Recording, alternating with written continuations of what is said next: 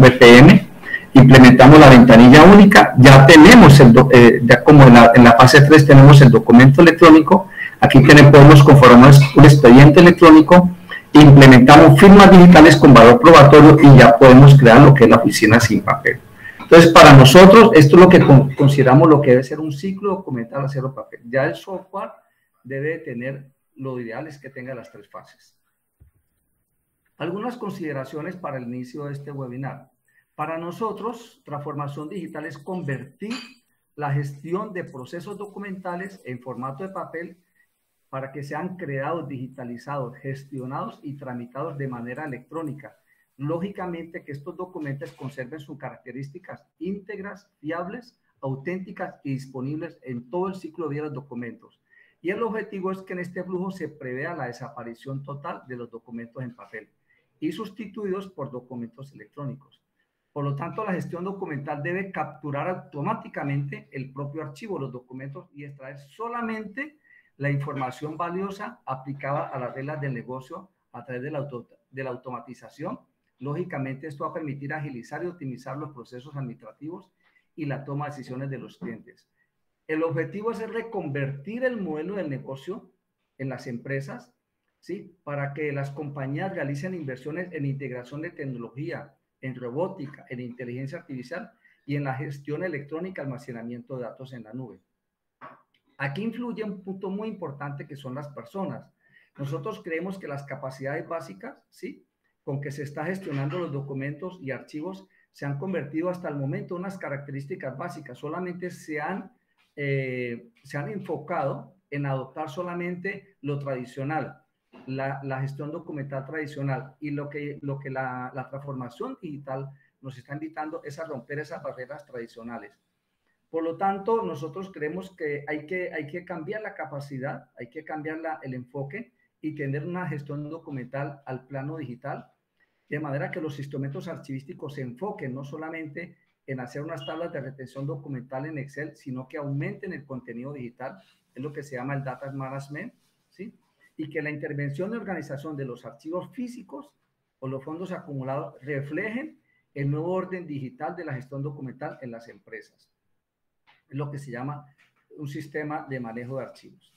Por último, la digitalización debe agregar una huella digital a la empresa nosotros consideramos que cada empresa tiene que tener un, ADN, un ADN corporativo de su misión y procesos de manera eh, digitales y que el archivo físico debe disminuir con el tiempo y debe pasar a ser digital según, según la instrumentalización de las tablas de retención documental.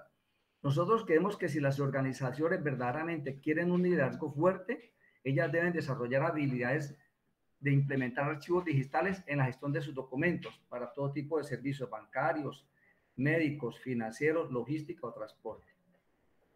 Nosotros, ¿cómo consideramos que se debe plantear o enfocar o redirigir la gestión documental hoy en día?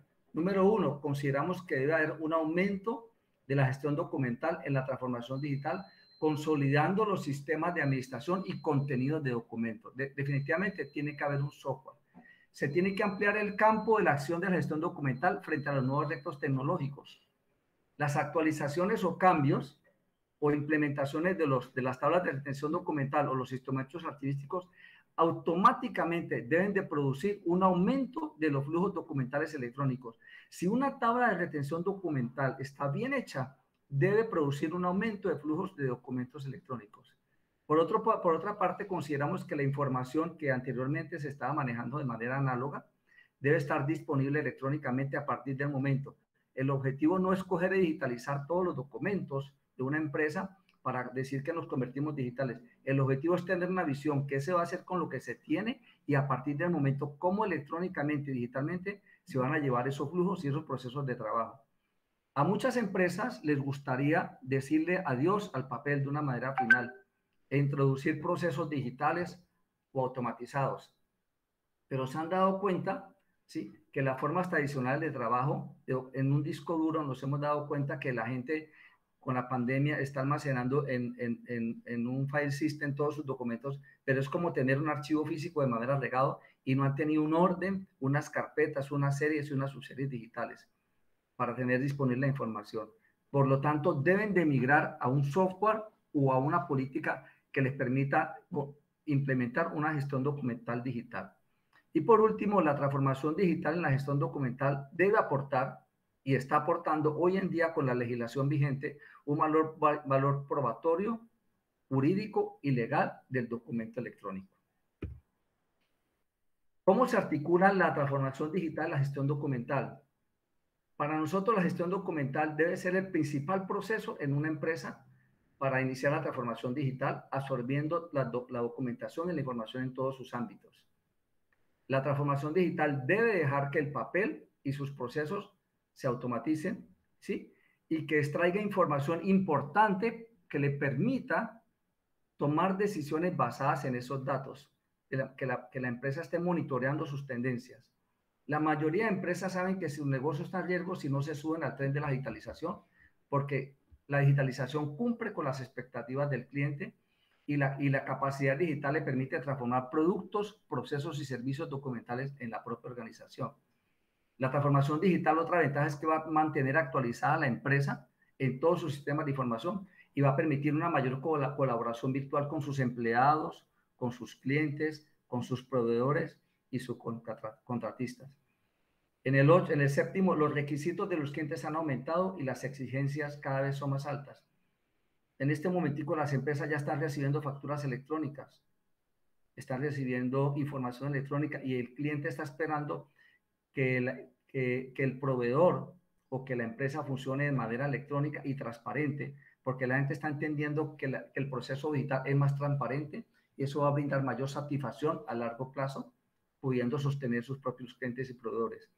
Y por último, los flujos de trabajo que tienden a ser un impedimento para las generaciones más jóvenes deben, deben de, de no ser tan arraigados ¿sí? Y no se entran frustrantes dependiendo del papel y deben de migrar a lo electrónico y, a lo digital. Un punto básico para la transformación digital es la gestión documental electrónica, que es el principio, ¿sí? Nosotros consideramos que lo más importante en, esto, en estos dos repositorios que tenemos aquí, debe haber un marco, una normatividad legal donde se diseñen los instrumentos archivísticos con valor probatorio, o sea, que el documento sea fiable íntegro, auténtico, disponible. Lógicamente tiene que haber un diagnóstico del índice a cero papel de, de, 0 a 100, en qué proceso o en qué porcentaje se encuentra la empresa en producción en papel e ir disminuyendo esa dependencia del papel. Tener un programa de gestión electrónica de documentos de archivo. La empresa debe tener un esquema de metadatos, debe tener un sistema integrado de conservación, debe tener un plan de preservación digital, un plan de preservación de documentos electrónicos, Debe también implementar un modelo de requisitos del sistema de gestión de documentos electrónicos y de archivo. Debe tener unas políticas de producción de documentos electrónicos, una seguridad de los datos electrónicos y, lógicamente, un marco o un protocolo de interoperabilidad con respecto a los datos y a la información. Y con respecto al valor probatorio, si todos esos documentos y esos procesos que están eh, en, en, el manejo de una gestión documental electrónica deben de tener un índice de metadatos, también un índice electrónico, Debe haber en ese software una foliación electrónica que se permita las firmas digitales electrónicas, que se implemente la digitalización certificada, que permita también enviar la información a través de un correo certificado, que, que la gestión documental electrónica permita procesos automatizados, lógicamente bajo normas de MOREC, ¿sí? Y que haya unos requisitos de preservación digital.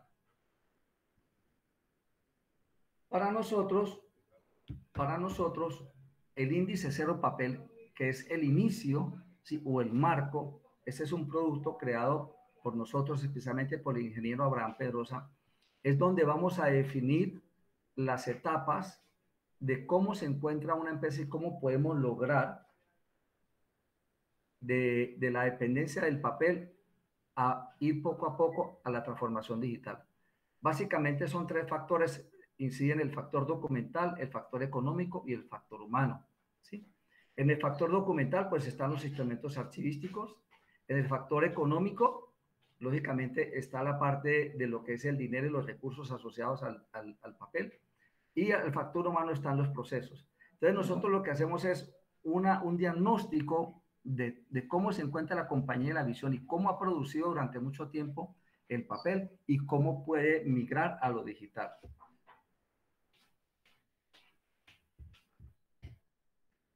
Para nosotros, la transformación digital, la gestión documental, el enfoque de la gestión documental, la transformación digital involucra cuatro bases o cuatro pilares. Lo que son las personas, los flujos y los procesos, la tecnología y los materiales.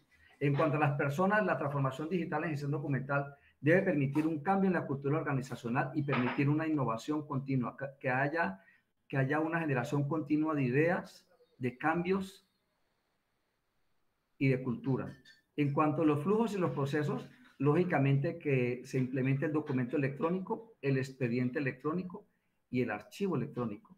En cuanto a tecnología, nosotros consideramos que la transformación digital debe tener un, un SM, un Enterprise Context Management, ¿sí?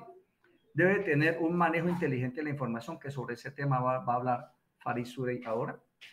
Y las compañías deben de establecer una misión al data driving, o sea, que puedan tomar decisiones estratégicas basadas en el análisis e interpretación de los datos. No es tener archivos o bases de datos o registros guardados, sino saber cómo puedo interpretar, cómo puedo analizar esos datos y que se me convierta en una información corporativa para tomar decisiones en mi empresa.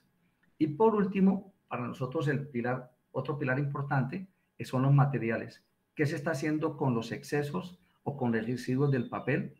con las carpetas, con las cajas, con los ganchos, etcétera, porque alrededor de, de, la gestión documental en papel, pues hay unos materiales que están sobrando y muchas veces los botan, los reciclan y la, y la empresa debe tener un enfoque, una política para reducir el impacto ambiental y esto va a favorecer, lógicamente, su imagen ante los clientes. ¿Cuáles son las herramientas? para la transformación digital, tener un sistema de gestión de documentos electrónicos vacío o un software que lo permita. Nosotros consideramos que la verdadera gestión documental debe hacer más accionable todos los procesos de negocio, aumentando el mayor flujo de documentos. En otras palabras, si podemos resumir lo dicho hasta aquí, el enfoque de la gestión documental, la transformación digital, es que cada día aumente el flujo, el documento, el proceso, el expediente y el archivo electrónico dentro de esa organización. ¿Cuáles son esos componentes de la gestión documental electrónica? Pues ya lo sabemos eh, de acuerdo a las normas de la AGN. El primer paso es cómo se crean los documentos, cómo nosotros vamos a crear esos documentos electrónicos, cómo se van a recibir a capturar, cómo se van a conformar esos expedientes, cómo se va a eh, definir la política de preservación a largo plazo, cómo se va a articular con el sistema de gestión electrónica de documentos de archivos, cómo hacer la gestión de metadatos, cómo hacer la seguridad de acceso y cómo hacer la exposición final. El documento y el flujo electrónico son el centro de la transformación digital en la gestión documental. Para ellos hay que desarrollar una estrategia, ¿sí? Y la primera estrategia es que tiene que haber un compromiso de la alta gerencia de esa empresa.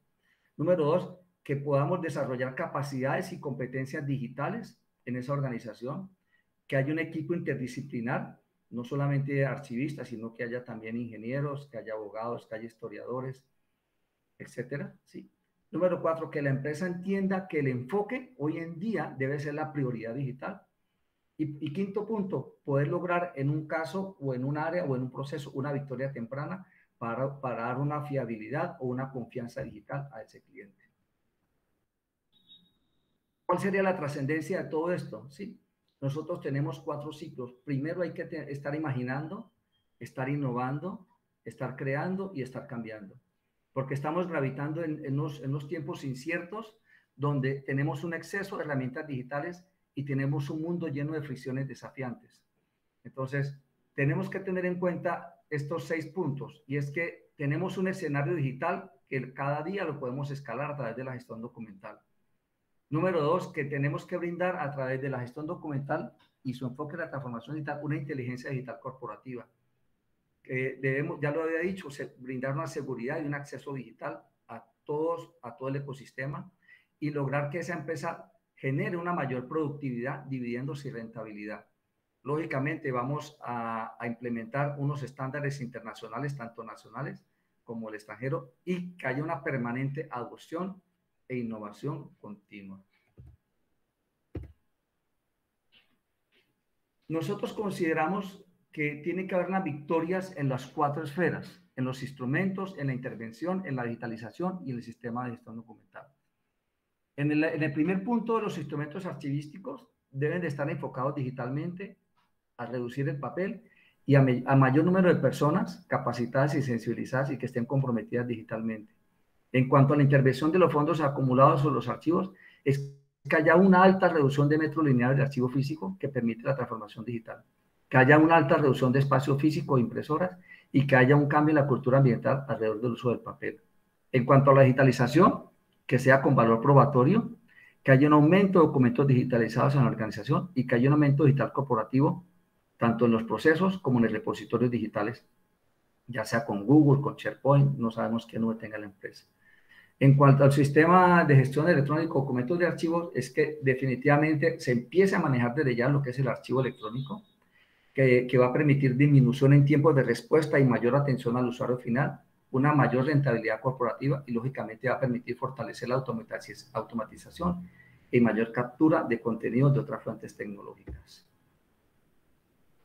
Nosotros consideramos que el, el, enfoque en la gestión documental, la transformación digital debe aportar valores, ¿sí?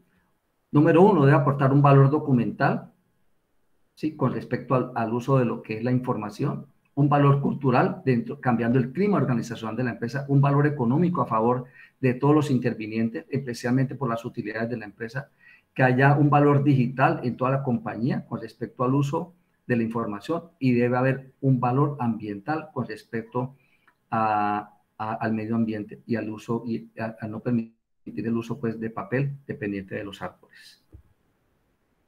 En la presentación les vamos a enviar nuestras redes, ¿sí? Les agradezco mucho y con esto le damos la palabra entonces a Fadi Abraham. Muchísimas gracias.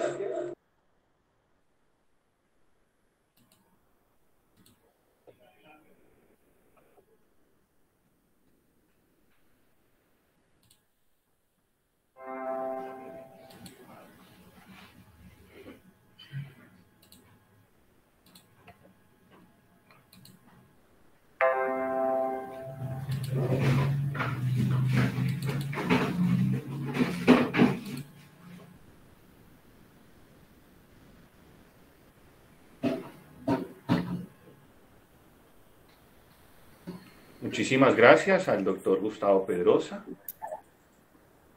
Les agradecemos su permanencia, les agradecemos que nos acompañen en esta tarde. A continuación va a presentar con nosotros Fadi Surey. Fadi es el vicepresidente de NARAT Operaciones y también hace parte de un, un grupo de profesionales que están trabajando en este tema de la transformación digital. Él cuenta con una experiencia en el medio y un liderazgo en la gestión de soluciones empresariales. Así que para nosotros es un gusto darle la bienvenida a Fadi Suri. Vamos a poner unos subtítulos para que ustedes puedan entender la traducción que Fadi va a compartir con nosotros.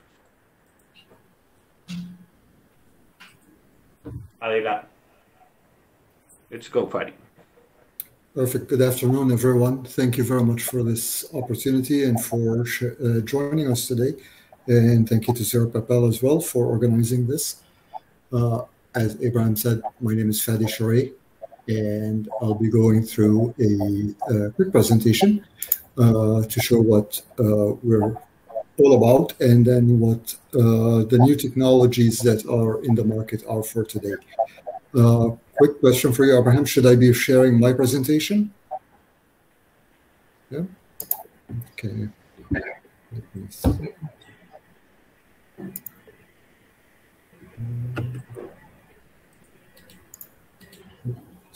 Sí, la presentación está lista. ¿La están viendo allí ahora?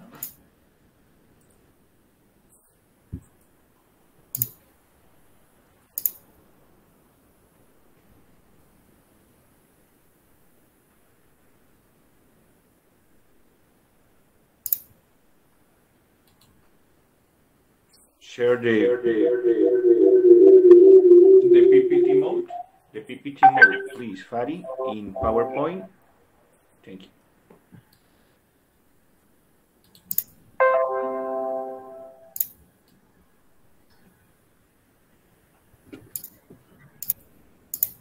Hmm.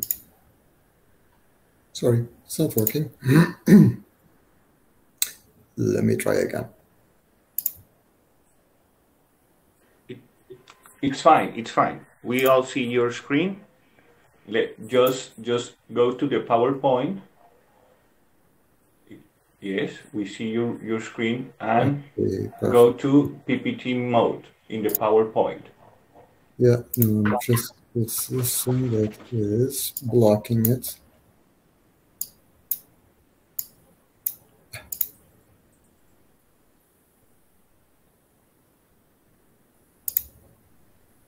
All right. Okay.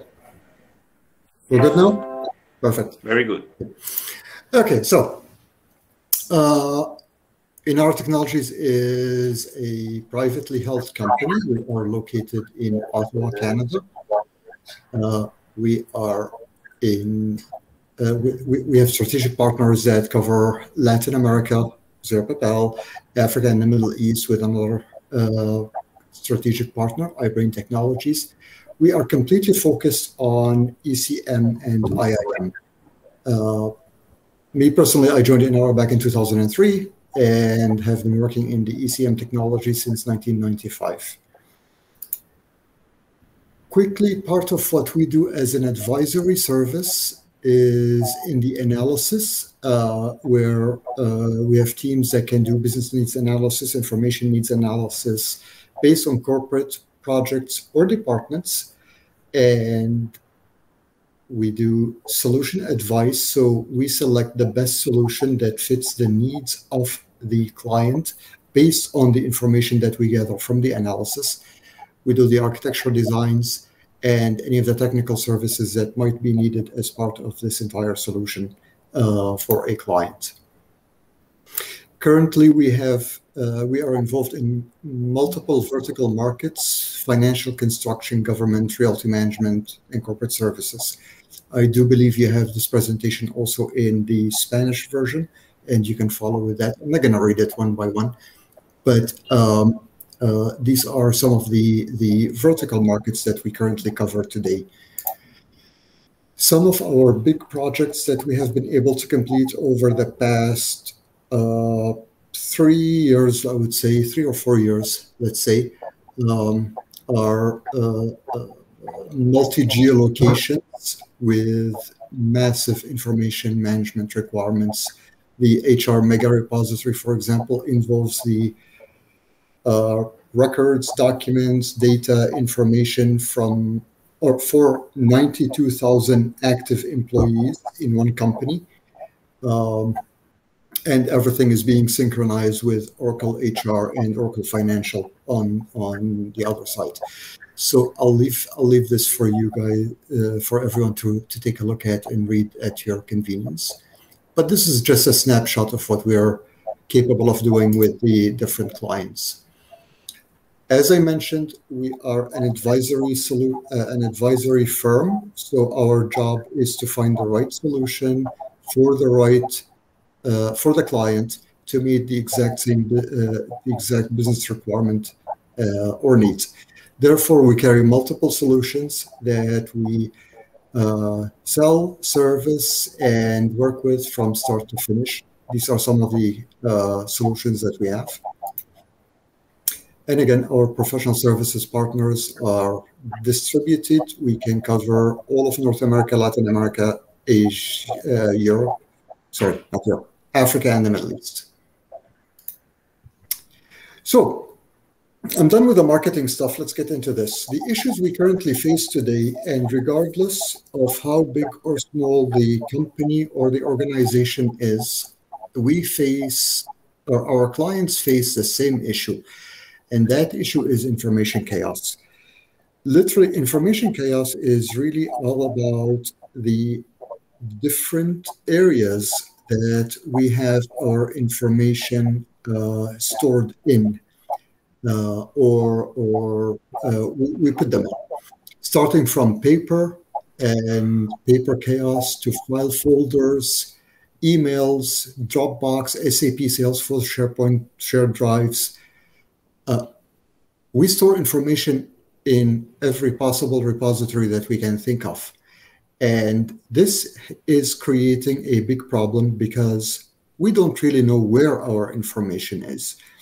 Uh, if we try to find someone, we have something, we have to go and look into different areas to find the information that we are actually looking for. When we asked business executives what they were looking for, and this is a poll that we conducted on our own, uh, as you can see, about 54% responded with business process automation. People are looking for ways to, process, to, to automate their processes, but they're also looking for ways to centralize their information systems and secure the data and be in compliance with the different regulations, HIPAA, GDPR, uh, PIPEDA, and so on. Really, what we're trying to accomplish as corporations, as companies, and so on is digital transformation. And digital transformation is too big and too vast uh, as a as a concept to be able to cover entirely. But for any company that tries to cover or uh, uh, get into the digital transformation world, one of the main things that we introduce to them or, or talk to them about is that information management is the digital, sorry, is the, the foundation block of digital transformation. Uh, the availability of the right information to the right users at the right time to do the right decision in the company or the organization is the success factor that digital transformation is actually based on. In our reading and research, and by looking at everything that all of the big companies have, uh, big consulting firms have have uh, presented, digital transformation is really divided into multiple main areas uh, customer experience, operational agility, workforce enablement, and technology integration. And all of these are the foundations or the core blocks of digital transformation. To reach our goal and to do and to be able to do digital transformation, as I said, we are talking to clients about uh, information management and more specifically about enterprise content management or ECM. Uh, ECM gives us the capabilities to store and manage information in a centralized environment uh, with appropriate security access and access roles and uh, integration. And those are again, the key components for desired business outcomes, which would actually allow you to uh, uh, do your the digital transformation. As part of the evolution of ECM is the introduction of intelligent information management. And really, intelligent information management came to life about three, four, five years ago, maybe at Max. Uh, which is ECM, Inter Enterprise Content Management, but it has machine learning, artificial intelligence, and connected repositories with information analysis embedded deep into the ECM solution. This gives us a core solution for exploring and finding information inside our information deep information that we are not really sure that we or we, we might not even know that we have but with intelligent information management we can actually discover information we actually have but but did not know about. It is as i said the evolution of ecm and it really is the strategies methods modules and solutions that together will manage the entire life cycle of the data. It's not just the documents, it's the data, the documents, and the transactions that together will allow the organization to uh, uh, uh, proceed with its operations and to actually succeed in its operations and move forward. The core components, I'm not going to read them one by one, but any ECM or IIM solution that claims to be one must have the core components as part of the out-of-the-box offering, readily available and immediately in operations, uh, once they are configured, of course. Uh, the, the core components are truly essential to information management. There is nothing more important than these features to actually state that you have an information management solution. Optional modules are really dependent on the vendor that we are working with, but also on the client requirements. So if the client has SAP and requires SAP integration, then uh, or SharePoint integration, uh, Salesforce integration, and so on, uh, we can uh, find the solutions that actually allow us to do the integration and connect all of these repositories into one. And you will see in a few slides why we need this this type of integration. In a, an overview of intelligent information management is really what you're looking at uh, on the screen right now. The, the intelligent documents, content, data, and processes or transactions uh, as a component, uh, unified information access, Unified information access we will get to in a little while, but it is the concept that allows us to connect and search and find information into any information repository we have. And you'll see that in, in, in, a, in a bit. Uh, intelligent information automation, so let the system decide based on AI and based on machine learning, let the system decide how to automate some or all of the steps that are actually needed.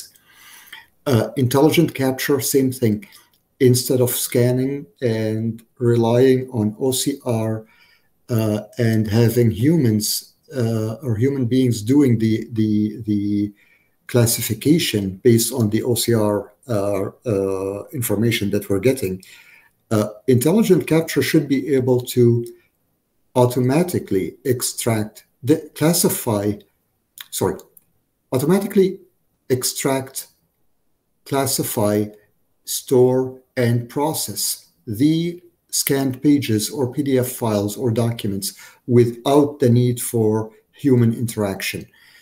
Uh, all of these would allow us to state that we are in compliance with any of the compliance requirements, especially for companies that are working in the US uh, or with US companies uh, or with European companies. You'll have to be compliant with some of these uh, uh, uh, federal initiatives that they have. Some of the main features of an IIM could be having existing templates, so ready to run templates or ready to run environments that will cover case management, HR, contract management, invoice processing, order processing, and so on. So instead of configuring everything from scratch, we can actually find a solution that actually has these, and depending on the client requirements, deploy any one of these solutions for immediate operations. Uh, IIM should always have the back end or the back office integration, so Outlook and, and Office and AutoCAD and so on. This is a snapshot or a quick view of IIM features. Uh, and please keep in mind, it is IAM embedded with artificial intelligence and machine learning in the background.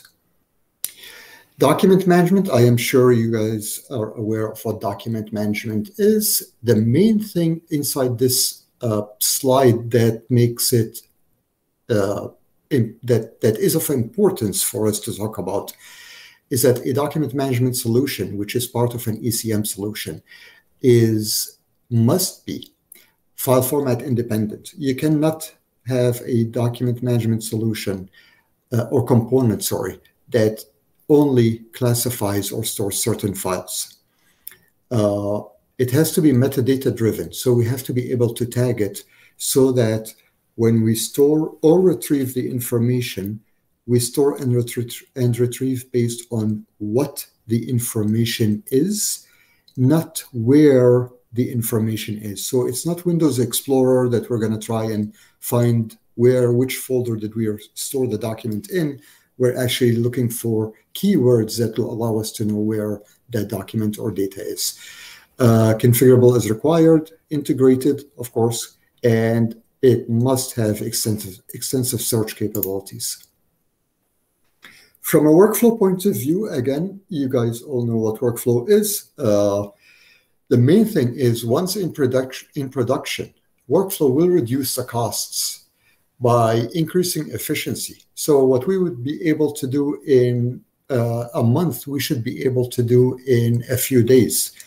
And where uh, we would spend, uh, uh or, or, if we are able to do 10 operations a, a month prior to implementing workflow, we should be able to implement maybe three operations a week using workflow or two operations a week or six operations a week. So we're going to increase the efficiency by deploying workflow, which is all part of the ECM solution that we're talking about.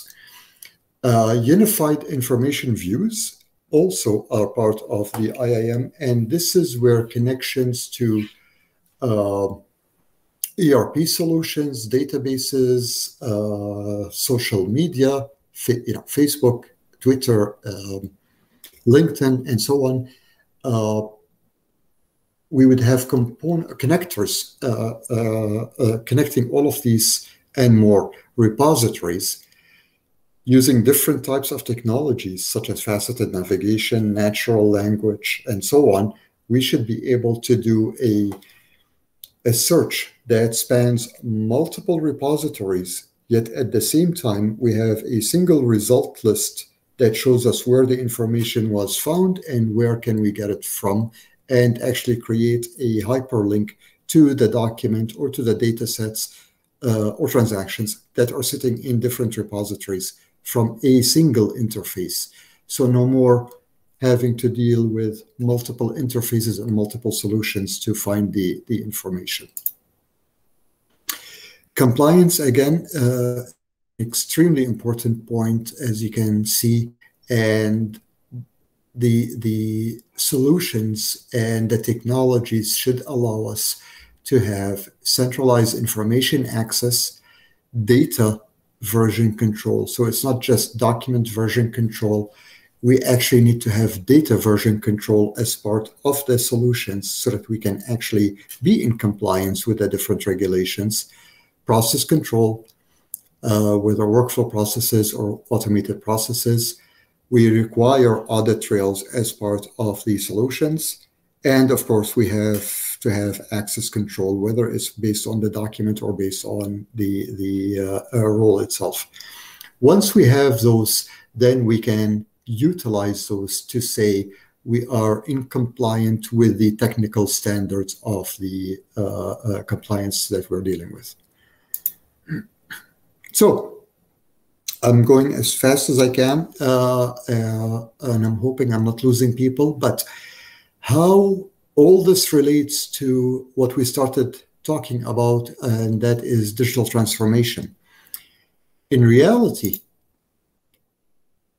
digital transformation if you remember requires is sorry uh, digital transformation is a foundation block or II, uh, information management is a foundation block of digital transformation.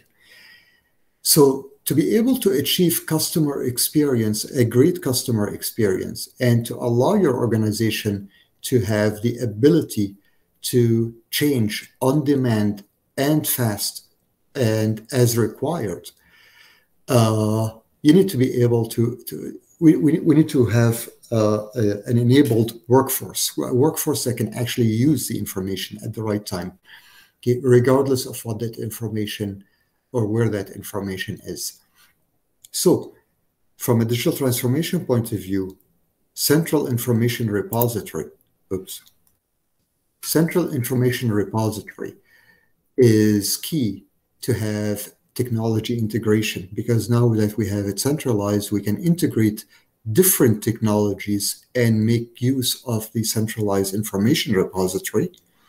And by integrating the technologies, we will have an easier sell uh, or an easier solution for management and workforce to be able to achieve their actual daily operations and their weekly operations, and then management to be able to to find the the the hidden information about their operations. And by doing so, we will have the operational agility so companies can actually move and move quickly to change and change their behavior, change their processes based on requirements. And thus you will have a customer experience that are that is really unmatched simply because you can provide your customers with the right information at the right time with uh, with with any type of a device or geographic location that you might exist in. So we're no longer tied to a specific solution or a specific device or a specific location. You can be working from home or working from your office or working from a plane, and you'll still be able to find the right information if we do this properly uh, uh, from the beginning. I think I have covered all of the main requirements and main features that we have. And from Inara and our great partner in Latin America, Zero Papel, thank you very much. Gracias. And I look forward to your questions. Thank you. Thank you, Fari, and thank you, thank you for everyone. Básicamente lo que queremos es hacer un pequeño resumen sobre lo que Fadi nos acaba de compartir en esta, en esta tarde, que nos parece muy importante. Yo quisiera detenerme en dos diapositivas centrales que pueden resumir la idea que Fadi nos trajo a continuación. Esas diapositivas centrales van a ser esta, que nos parece muy importante resumir, y es cómo la inteligencia que nosotros vamos a desarrollar, desarrollar sobre el manejo de nuestra información va a unir diferentes cosas. Va a unir el contenido, ¿cierto? Ese contenido entendido como el, el universo posible de documentos electrónicos y físicos con unos procesos de captura, de clasificación y análisis. Va a unir los accesos es esta parte naranja que vemos aquí, los accesos que tienen los usuarios de la información van a haber procesos automáticos de extracción de datos, validación y toma de decisiones. Y va a haber un proceso de captura inteligente. Y todo esto se tiene que hacer con unos parámetros documentales iniciales, porque hacia eso está apuntando un escenario donde la inteligencia artificial puede absorber la gran mayoría de procesos. Esto va sobre un, un, un tema de compliance, que es todo el, el marco normativo donde se va a regular esta información que va a tener documentos sensibles, documentos restringidos, confidenciales, etcétera, y que ustedes cuenten con dos temas finales. Todos sus formularios estandarizados en un inventario maestro de documentos y todas las integraciones de sus diferentes soluciones con una conservación transversal de sus documentos. Eso es básicamente la idea en pocas palabras que Fadi nos quiso ilustrar el día de hoy. Nosotros les vamos a compartir esta presentación en inglés y en español. Y la idea es para cerrar, los acompaña en esta tarde nuestro último conferencista, el, el doctor Luis Felipe, ya está con nosotros, Luis Felipe Ordóñez, y va a compartirnos el último tema de esta sesión. Adelante, doctor Luis Felipe. Muchas gracias. Muchas gracias, Abraham. Voy a compartir eh, pantalla. Porfa, me confirman si en este momento se está viendo correctamente. Sí. Perfecto. Bueno, vamos a hacer también aquí a poner sobre la mesa un tema muy importante y que nos atañe a todos y es la economía circular. Y, ya una vez que hemos hablado de transformación digital, también entender cómo desde nuestras labores podemos identificar cómo gestionar correctamente los recursos. Esa va a ser como, como la charla de este momento, ¿no? Partimos de las siguientes imágenes, ¿no? Nos gusta destacar mucho esta imagen inicial en la que durante la fecha de 1955 se celebraba la salida al mercado de los productos desechables, ¿cierto?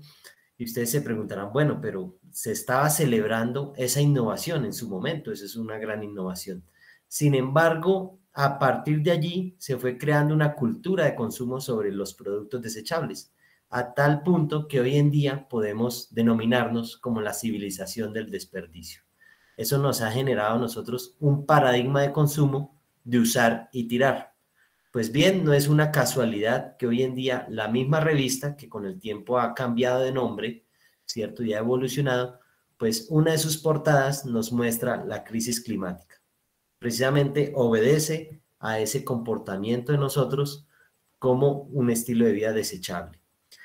¿Qué contexto queremos poner sobre la mesa? Un contexto de alerta, de urgencia y que nos plantea la necesidad de que todos actuemos de manera inmediata desde nuestras diferentes actividades profesionales. Y la parte de documentación no es una externa a esta realidad, ¿cierto? Y de allí, pues, la importancia de poder traer estos temas sobre la mesa.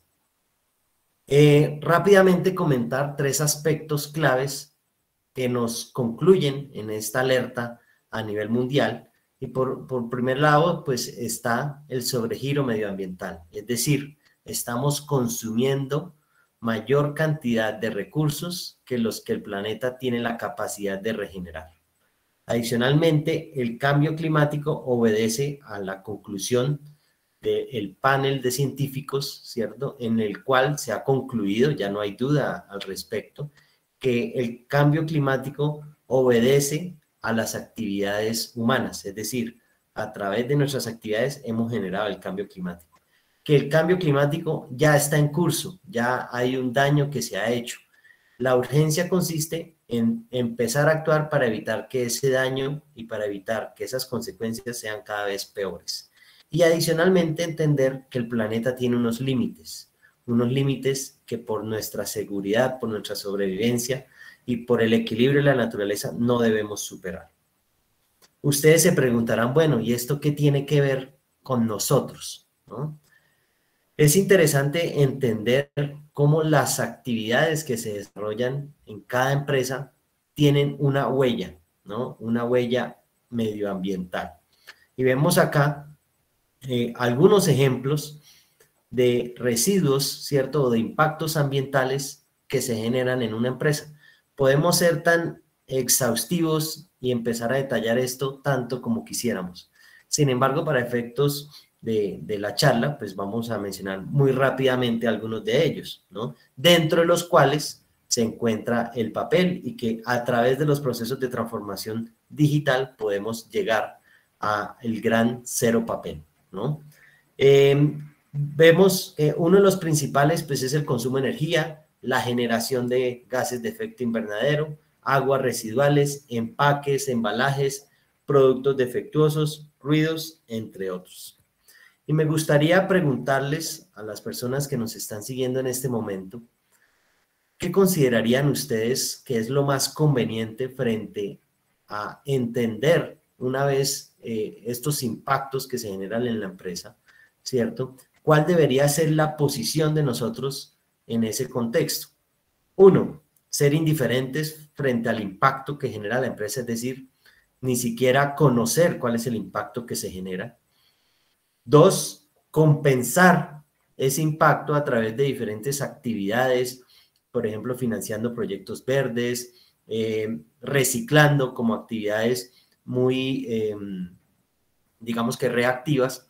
Y finalmente, una tercera, eliminar el impacto desde la fuente, ¿cierto? ¿Cuál de las tres considerarían ustedes que debe ser el enfoque correcto? Pueden compartirlo ahí en el chat escribiendo uno, dos o tres, entendiendo que uno sería ser indiferentes, dos, compensar el impacto generado y tres, eliminar el impacto desde la fuente. Pues bien, vamos a ver en esta presentación cuál debería ser el enfoque correcto y a cuál queremos invitarlos desde este eh, webinar de Cero Papel. Por un lado, partimos de la revolución industrial, las diferentes revoluciones industriales en las cuales eh, ha, participado y, se ha dado a través de la historia a nivel mundial, ¿no? Vemos que cada una de ellas, pues la tecnología ha sido el, el protagonista y el elemento, el mecanismo principal para lograr esa revolución industrial, ¿no? Y en cada una de ellas ha tenido un enfoque muy particular, ¿no? A tal punto que hablamos de que la cuarta revolución industrial en la cual nos encontramos en este momento, pues es cuando hablamos de, de la digitalización y los procesos ciberfísicos, ¿no? De lograr esa personalización de los productos, de lograr pues esa conectividad y tener pues sensores y poder tener el Internet de las cosas, entre otras. Pues bien, la quinta revolución industrial está enfocada en la sostenibilidad. Es decir, se plantea que podamos usar correctamente la tecnología para dar respuesta a los retos que el planeta nos está poniendo en estos momentos, ¿no? Ante las alertas que hemos comentado en las diapositivas iniciales, ¿cierto?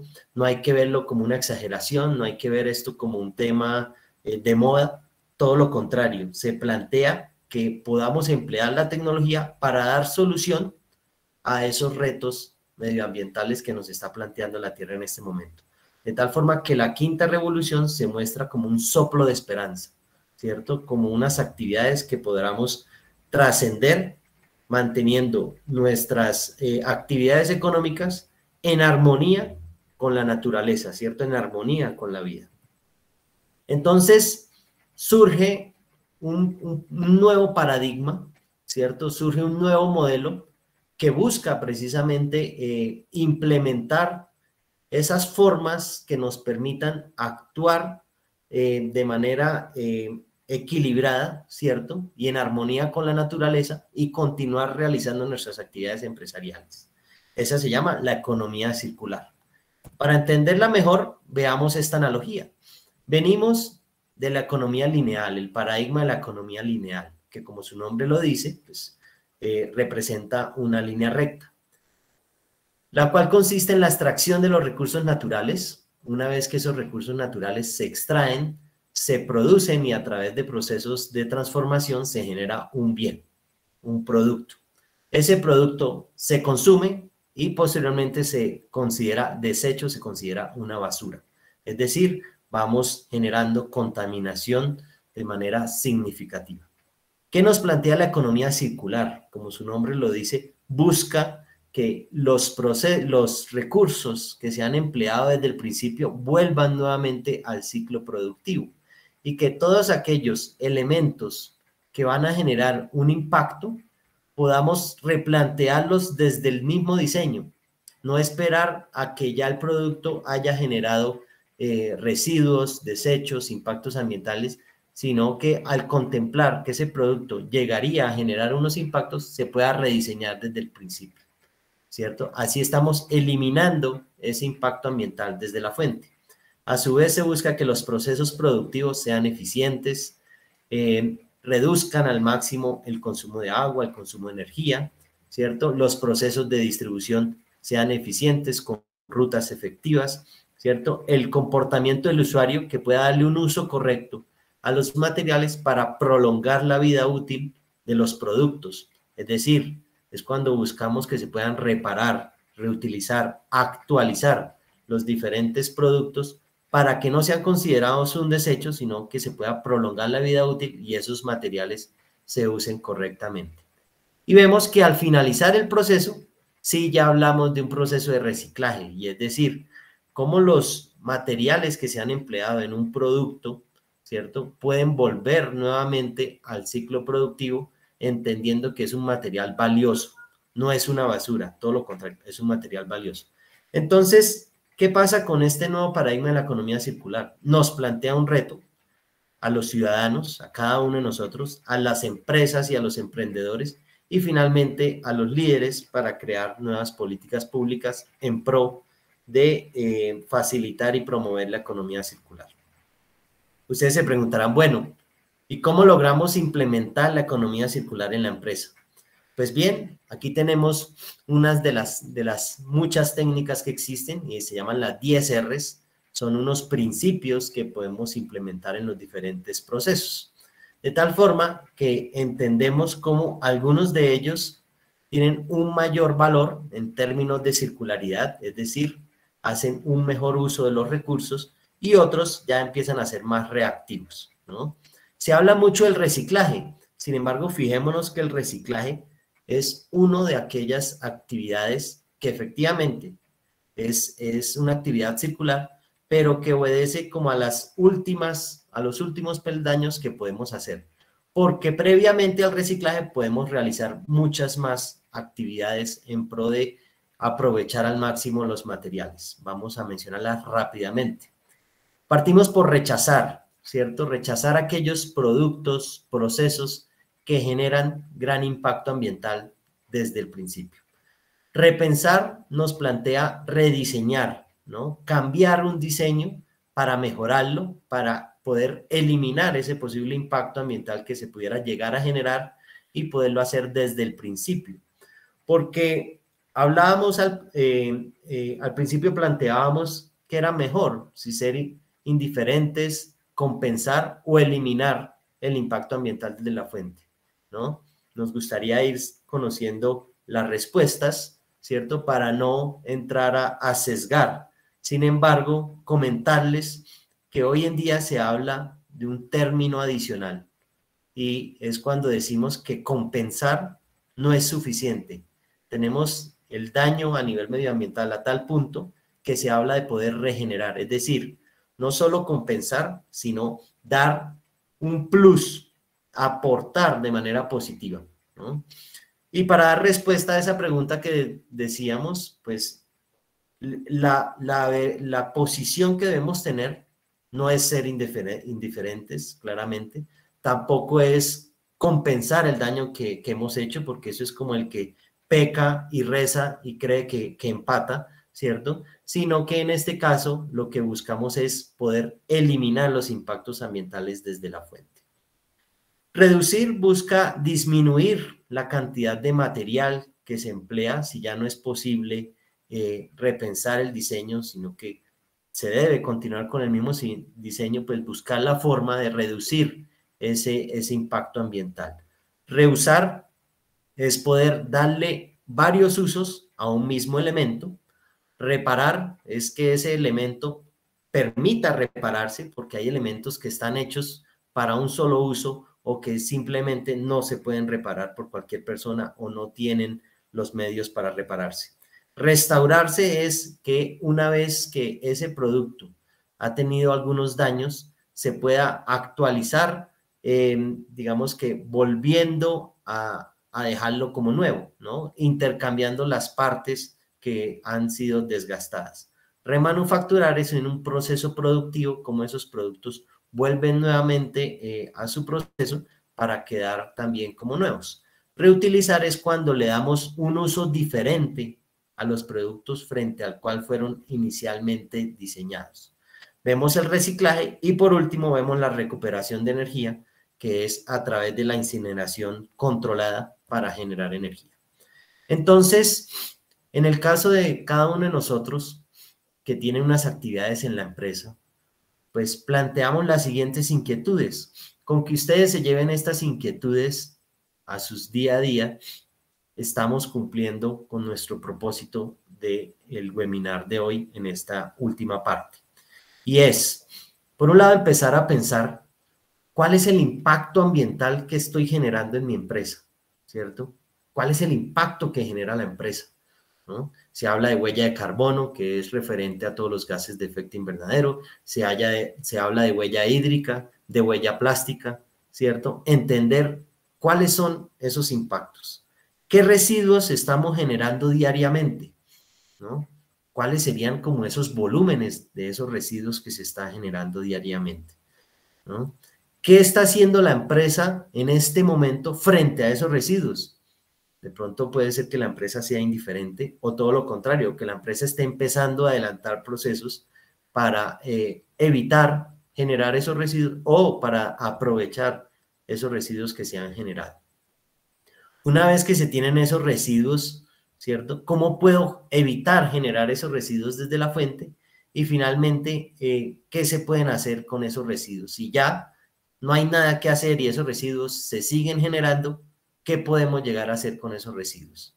Pues bien, a partir de allí, pues se puede implementar toda una estrategia de economía circular, ¿cierto? De implementar buenas prácticas y de plantear nuevas soluciones circulares que nos permitan dar respuesta a estas inquietudes dentro de la empresa.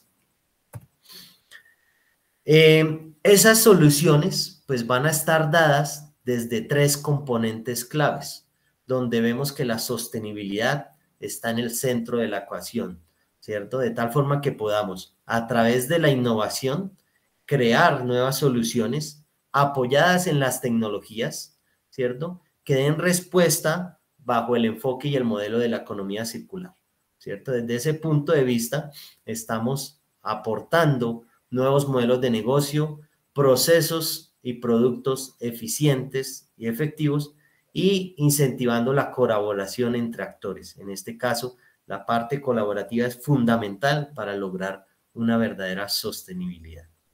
Entonces, fijémonos que esos no son aspectos eh, externos, sino todo lo contrario. Son complementarios a, los que ya, a lo que ya hemos venido hablando y que en realidad entran a aportar frente a una transformación del modelo de negocio. Aquí tenemos un ejemplo que vamos a, a, ir describiendo de manera muy rápida por efectos del tiempo, ¿cierto? Sin embargo, es un ejemplo muy controversial y que todos de alguna manera lo hemos conocido o lo hemos probado y son estas cápsulas de café Nespresso, ¿no? Es controversial porque el producto es de una alta calidad, se considera un producto casi que de lujo, ¿cierto? El sabor es muy, es, rico, es delicioso. Sin embargo, genera un impacto ambiental significativo porque estas cápsulas no son tan fáciles de reciclar como pareciera. Y a su vez, se genera un depósito de café o de leche o de agua en su, en su interior. Entonces, ¿qué pasa? Tenemos acá los diferentes procesos claves de la empresa. Tenemos los insumos, las entradas que, valga la redundancia, ingresan a cada uno de estos procesos claves y posteriormente las salidas, los que pudiéramos decir los impactos ambientales.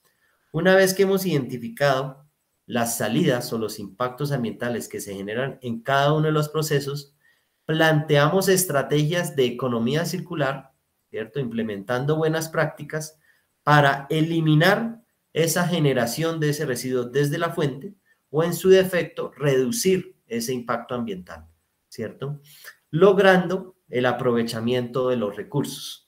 Entonces, fijémonos, en el caso del mercadeo, de comercialización, en toda la parte administrativa, ¿cierto? De la empresa, vemos que uno de los residuos, pues es el papel o empaques, ¿no?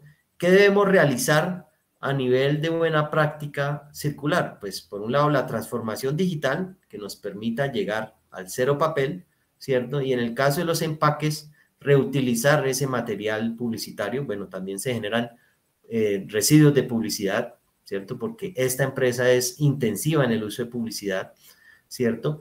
Eh, plantear modelos de recolección y de logística inversa que nos permitan recolectar estos materiales y poderles dar un uso.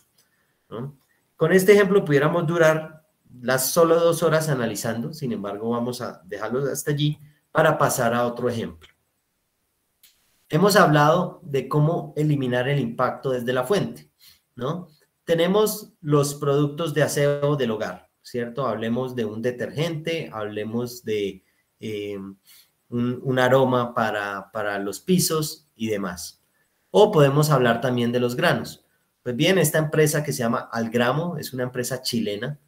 Ha identificado que realmente lo que nosotros compramos como usuarios no es el empaque, es el contenido. Sin embargo, cada vez que compramos eh, el empaque con su contenido, ¿cierto? Pues estamos perdiendo una porción de dinero que está destinada al empaque, ¿no? Pues bien, esta empresa lo que ha diseñado ha sido unos dispensadores para recargar los empaques. ¿Qué tiene de interesante este proceso? Por un lado, que estos empaques que tradicionalmente son de un solo uso, ¿cierto? Permite que las personas los puedan reutilizar cuantas veces quieran y le dan un valor adicional. ¿Por qué? Porque este empaque tiene una, un chip, un RFID, ¿cierto?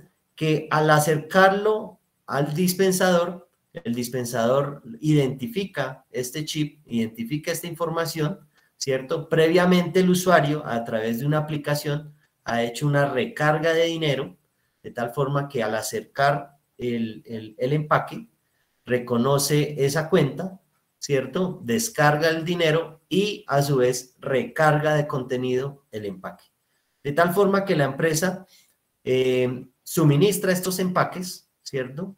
Y el usuario no los desecha, los guarda y de esta manera se está reduciendo el eliminar estos empaques, el, el desechar esos empaques, ¿no? Entonces, fijémonos que a través de un proceso de transformación digital se está eliminando ese residuo desde la fuente, desde la generación misma de ese impacto ambiental. Ejemplos como estos son los que queremos poner sobre la mesa y sobre los que queremos apoyarlos en ese sentido de, plantear esas nuevas estrategias frente a reducir esos impactos ambientales. Y por último, dejar esta, esta frase, ¿no?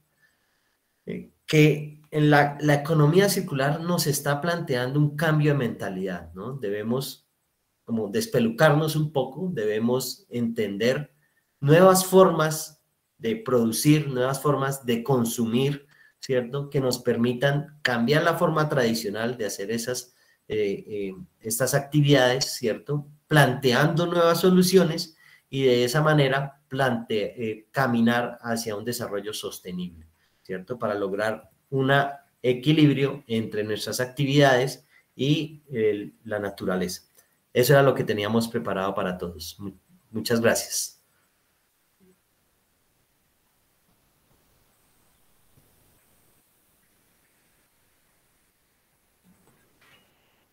Felipe, muchas gracias. Excelente, excelente tu participación y, muy, y muy motivadora.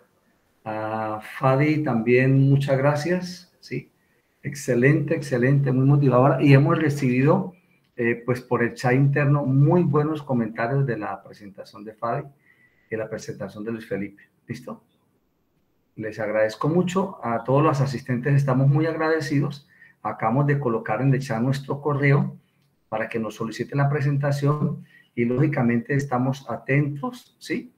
Eh, a, cualquier pregunta o inquietud sobre la transformación digital. Básicamente, para terminar, nosotros queremos es motivar, ¿sí? A, a todos los asistentes a que miren bajo este enfoque del manejo inteligente de la información y la economía circular, eh, un nuevo enfoque de la gestión documental en la transformación digital. Muchas gracias a todos y nos veremos en un próximo webinar. Que estén muy bien.